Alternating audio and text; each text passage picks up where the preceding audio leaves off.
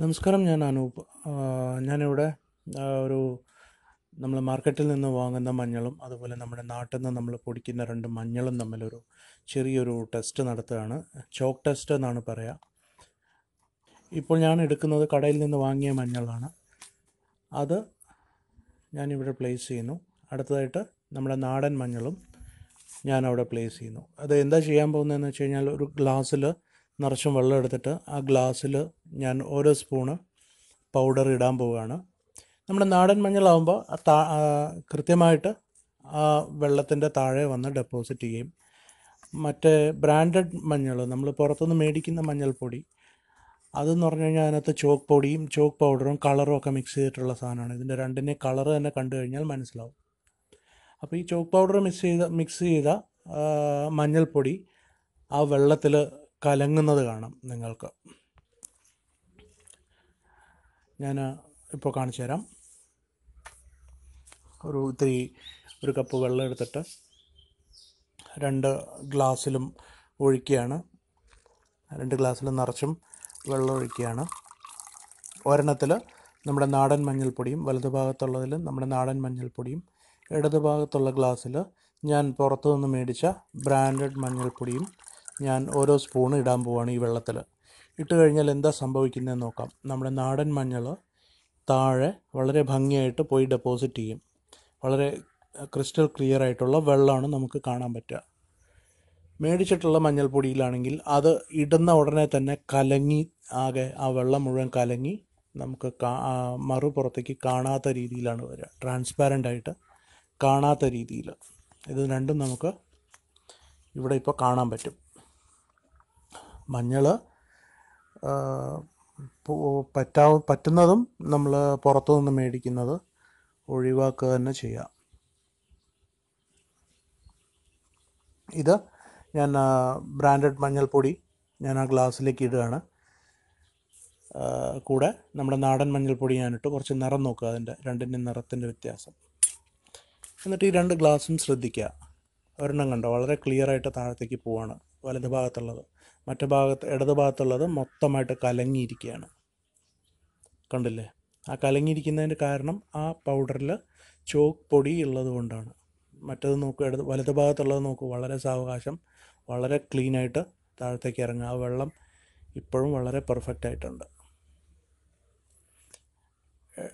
ഇടത് ഭാഗത്തുള്ളത് പൂർണമായിട്ടും താഴത്തേക്ക് പോയി അത് മൊത്തം കലങ്ങി. ഇത് കണ്ടില്ലേ? ഇതാണ് രണ്ട് പൗഡറും തമ്മിലുള്ള വ്യത്യാസം എന്ന് പറയുന്നത്. അപ്പം നമ്മൾ എപ്പോഴും മഞ്ഞൾപ്പൊടി വാങ്ങുമ്പോൾ മാർക്കറ്റിൽ പോയി ബ്രാൻഡഡ് ആയിട്ടുള്ളത് മേടിക്കാതെ പറ്റുന്നതും അറിയാവുന്ന മഞ്ഞൾപ്പൊടി കൃഷി ചെയ്യുന്ന ആളുടെ അടുത്തുനിന്ന് മേടിക്കുക. മഞ്ഞൾ തന്നെ നാടൻ മഞ്ഞൾ അതുപോലെ ക്രോസ് ബ്രീഡ് ചെയ്ത പ്രഭ പ്രതിഭ എന്നൊക്കെ പറഞ്ഞിട്ട് ഒരുപാട് മഞ്ഞളുണ്ട്. അതിൽ പറ്റുന്നത് നാടൻ മഞ്ഞൾ തന്നെ മേടിക്കുക. അതിൽ കുർക്കുമിൻ കണ്ടൻസ് വളരെ കൂടുതലാണ്. പ്രഭ പ്രതിഭ പോലെയുള്ളതിനെ അപേക്ഷിച്ചിട്ട്.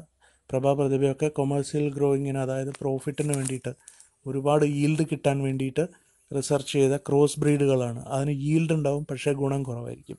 അപ്പോൾ പരമാവധി നാടൻ മഞ്ഞൾ തന്നെ നമ്മൾ മേടിക്കുക. ഇത് നാടൻ മഞ്ഞളിന്റെ പാക്കറ്റാണ്.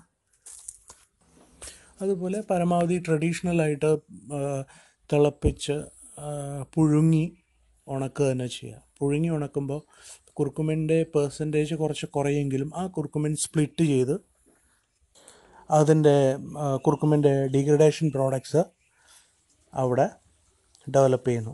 വാനിലിൻ ഫെറുളിക് ആസിഡ് എന്നൊക്കെ പറയുന്ന കുറച്ച് കണ്ടൻസാണ് വരുന്നത്. ഈ പറയുന്ന വാനിലിനും അതൊക്കെയാണ് ഇതിന്റെ ആന്റി ഓക്സിഡന്റ് പ്രോപ്പർട്ടീസ് മഞ്ഞളിൽ നിലനിർത്തി കൊടുക്കുന്നത്. ഇത് നമ്മൾ കുർക്കുമിൻ ഹീറ്റ് ആയാൽ മാത്രമേ ഇത് സ്പ്ലിറ്റ് ആവുള്ളൂ. അതുകൊണ്ടാണ് ഇത് ബോയിൽ ചെയ്യണമെന്ന് പറയുന്നത്. അതുപോലെ തന്നെ ഈ മണ്ണിൽ ഇതിപ്പോൾ ഞാൻ കൃഷി ചെയ്തിരിക്കുന്ന എന്റെ കൃഷിയാണ്. ഈ മണ്ണിൽ നമ്മൾ വർഷം ഒരു വർഷം ഇട്ട് കിളച്ചെടുക്കുന്ന മഞ്ഞൾ അതിനകത്ത് ബാക്ടീരിയ മറ്റു കാര്യങ്ങൾ കീടങ്ങളൊക്കെ ഉണ്ടാവും. അതൊക്കെ നമ്മൾ തിളപ്പിക്കുന്ന സമയത്ത് പോവുകയാണ് ചെയ്യുന്നത്. അപ്പോൾ എപ്പോഴും പുഴുങ്ങി ഉണക്കിയ മഞ്ഞൾ തന്നെയാണ് നല്ലത്. ഇതിപ്പോൾ ഏകദേശം ഒരു പത്ത് മിനിറ്റ് പതിനഞ്ച് മിനിറ്റ് കഴിഞ്ഞിട്ട് ഞാൻ വീണ്ടും വന്ന് നോക്കുകയാണ് നോക്കാം നമുക്ക് നമ്മുടെ നാടൻ മഞ്ഞൾ വളരെ ക്ലിയർ ആയിട്ട് നമുക്ക് താഴത്തേക്ക് കാണാം. വളരെ ട്രാൻസ്പാരന്റ് ആണ് അപ്പുറത്തേക്കുള്ളത് വളരെ ഭംഗിയിൽ കാണാം. വലത് ഭാഗത്ത്. ഇടത് ഭാഗത്തുള്ള ഗ്ലാസ്സിൽ ഇപ്പോഴും കലങ്ങി തന്നെ ഇരിക്കുന്നു. കണ്ടല്ലോ? അപ്പോൾ ബ്രാൻഡഡ് എന്ന് പറഞ്ഞ ബൾക്കിംഗ് ഏജന്റ് ആഡ് ചെയ്തിട്ട് ചോക്ക് പൗഡർ കൂട്ടി അതിന് കളറ് മിക്സ് ചെയ്തിട്ട് ഇതൊക്കെയാണ് നിങ്ങൾക്ക് പാക്ക് ചെയ്തിട്ട് വരുന്നത്. ഇതാണ് മഞ്ഞൾ എന്ന് പറഞ്ഞിട്ട് നിങ്ങൾ ഇടുന്നത്. അതിന് ഗുണമൊന്നും ഉണ്ടാവില്ല. വെറും മഞ്ഞ കളറ് മാത്രമുള്ളൊരു സാധനമാണ്. അതാണ് നിങ്ങൾക്ക് ചെറിയ പൈസയ്ക്ക് അവർ വളരെ നല്ല ലാഭം എടുത്തിട്ട് നിങ്ങൾക്ക് വിൽക്കുന്നത്. അപ്പോൾ ഒരു സാധാരണ കർഷകന്റെ അടുത്ത് മഞ്ഞൾ മേടിക്കാൻ പോകുമ്പോൾ അതിന് ഇത്തിരി വില കൂടുതലായിരിക്കും. എന്നാലും നിങ്ങൾക്ക് വളരെ നല്ല ഒരു മഞ്ഞൾ പൗഡർ തന്നെ വിശ്വസിച്ചിട്ട് നിങ്ങൾക്ക് ഉപയോഗിക്കാം എന്നുള്ളതാണ്. അങ്ങനെ നമ്മുടെ നാടൻ മഞ്ഞൾ നമുക്ക് പ്രമേഹത്തിനൊക്കെ വളരെ നല്ലതാണ്. ടെർമറിക് ടീ എന്നൊക്കെ പറഞ്ഞിട്ട് നോർത്ത് ഇന്ത്യയിൽ ഒരുപാട് ആൾക്കാർ പല രീതിയിൽ ഇത് കൺസ്യൂം ചെയ്യും. പാലിൽ മിക്സ് ചെയ്തിട്ട് കഴിക്കും. ഇതൊക്കെ കഴിച്ചു കഴിഞ്ഞാൽ നമ്മുടെ ടോട്ടൽ ആയിട്ടുള്ള ഹെൽത്തിന് വളരെ എഫക്റ്റീവായിട്ടുള്ള സാധനമാണ് മഞ്ഞൾ എന്ന് പറയുന്നത്. അത് പറ്റുന്നതും നമ്മുടെ നാടൻ മഞ്ഞൾ തന്നെ ഉപയോഗിക്കുക എന്നുള്ളതാണ്. ഈ ക്രോസ് ബ്രീഡ് ചെയ്തിരിക്കുന്നതിനേക്കാളും എന്തുകൊണ്ടും നല്ലത് നമ്മുടെ നാടൻ മഞ്ഞൾ തന്നെയാണ്. ഈ ചോക്ക് ടെസ്റ്റ് നിങ്ങൾക്ക് നിങ്ങളുടെ വീട്ടിലും ചെയ്യാം. നിങ്ങളുടെ വീട്ടിൽ നിങ്ങൾ മേടിച്ചിരിക്കുന്ന മഞ്ഞൾപ്പൊടി നിങ്ങൾ ഇതുപോലെ ഒരു ഗ്ലാസ്സിൽ ഇട്ടിട്ട് സോറി ഗ്ലാസ്സിൽ വെള്ളം എടുത്തിട്ട് ആ ഗ്ലാസ്സിൽ ഒരു സ്പൂണ് ഇട്ട് നോക്കുക. അതെങ്ങനെ താഴത്തേക്ക് പോകുന്നു എന്നുള്ളത് ശ്രദ്ധിക്കുക. ഇത് ചോക്ക് പൗഡറിന്റെ ടെസ്റ്റ് മാത്രമാണ്. ഇത് കൂടാണ്ട് ഇതിനകത്ത് വേറെ പല പല അഡൽട്രേഷനും ഇതിനകത്ത് നടക്കുന്നുണ്ട്. ചെറിയൊരു ടെസ്റ്റ് നിങ്ങൾക്ക് കാണാൻ വേണ്ടിയിട്ട് ഞാനിവിടെ കാണിച്ചു തന്നേ ഉള്ളൂ. അപ്പോൾ മാർക്കറ്റിൽ പോയി ബ്രാൻഡഡ് ആയിട്ടുള്ള മഞ്ഞൾപ്പൊടികൾ മേടിക്കണോ? അല്ലെങ്കിൽ സ്വന്തമായിട്ട് കൃഷി ചെയ്യണോ? അല്ലെങ്കിൽ അറിയുന്ന ഒരു കർഷകന്റെ അടുത്തുനിന്ന് മേടിക്കണോ എന്നുള്ളത് നിങ്ങൾക്ക് ഇനി ചൂസ് ചെയ്യാം. ഇത് കണ്ടില്ലേ? അരമണിക്കൂറിന് ശേഷമാണ് ഇത് കാണുന്നത്. നമ്മളുടെ നാടൻ മഞ്ഞൾ വളരെ ക്ലിയർ ആയിട്ട് അപ്പുറത്തെ ഭാഗത്തേക്ക് നമുക്ക് കാണാം. മറ്റത് ഇപ്പോഴും കലങ്ങി തന്നെ ഇരിക്കുന്നു.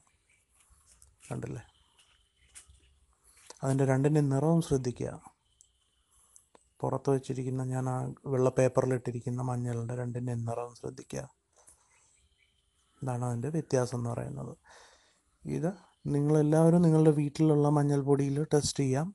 ഇങ്ങനെയൊരു മിക്ക ബ്രാൻഡഡ് ഐറ്റംസിലും നിങ്ങൾക്ക് ഇങ്ങനെ ഒരു സാധനം കാണാം. അപ്പോൾ പരമാവധി നല്ല നാടൻ മഞ്ഞൾ ഉപയോഗിക്കുക. ഹൈലി മെഡിസിനലാണ് ഇതുപോലെ നമ്മൾ ബോയിൽ ചെയ്ത് ക്യൂറിംഗ് എന്നാണ് ആ പ്രോസസ്സിനെ പറയുക. ബോയിൽ ചെയ്തിട്ട് ഉണക്കിയ മഞ്ഞൾപ്പൊടി തന്നെ ഉപയോഗിക്കാൻ ശ്രമിക്കുക. അങ്ങനെ ബോയിൽ ചെയ്യുമ്പോഴാണ് ഈ കുർക്കുമിൻ സ്പ്ലിറ്റ് ആവുന്നതും അതിന്റെ സബ് കൺ കണ്ടൻസ് ഡെവലപ്പ് ആവുന്നതും അതൊക്കെയാണ് നമ്മുടെ antioxidant properties anti cancer പ്രോപ്പർട്ടീസൊക്കെ നമ്മുടെ മഞ്ഞളിനുള്ളത്. അതുകൊണ്ട് തന്നെയാണ് ഇത് കുക്ക് ചെയ്യുമ്പോഴും നമ്മളിത് ഉപയോഗിക്കുമ്പോൾ ഇത് ബോയിൽ ചെയ്യാണ്. ബോയിൽ ചെയ്യുമ്പോൾ നമ്മുടെ കുർക്കുമിൻ സ്പ്ലിറ്റ് ചെയ്ത് വരികയാണ് അവിടെ ചെയ്യുന്നത്. ഇത് നോക്കുക. ഏകദേശം മുക്കാൽ മണിക്കൂറോളം കഴിഞ്ഞിട്ട് ഞാൻ എടുത്തു വച്ചതാണ്. ഇപ്പോഴും മറ്റ് നമ്മുടെ ബ്രാൻഡഡ് മഞ്ഞൾ ഇങ്ങനെ കലങ്ങി തന്നെ ഇരിക്കുന്നത് കാണാം. ചോക്ക് പൗഡർ ഇട്ടിട്ടുള്ള മഞ്ഞളിലെ മായം കണ്ടുപിടിക്കാനുള്ള ഒരു എളുപ്പ വഴിയാണ് ഞാനിപ്പോൾ ഈ കാണിച്ചു തന്നിരിക്കുന്നത്. ഇത് കൂടാണ്ട് വേറെ പല തരത്തിലുള്ള മായങ്ങളും മഞ്ഞളിൽ ചേർക്കുന്നുണ്ട്. അതെങ്ങനെ കണ്ടുപിടിക്കാം അതെന്തൊക്കെയാണ് എന്നുള്ളത് ഞാൻ വരുന്ന വീഡിയോകളിൽ ഞാൻ ഡീറ്റെയിൽ ആയിട്ട് പറഞ്ഞു തരുന്നതായിരിക്കും. ഇപ്പോൾ ഈ ഒരു കാര്യം മനസ്സിലാക്കുക. ഇത് നിങ്ങൾ നിങ്ങളുടെ വീട്ടിൽ തന്നെ ടെസ്റ്റ് ചെയ്ത് നോക്കുക. നന്ദി. നമസ്കാരം.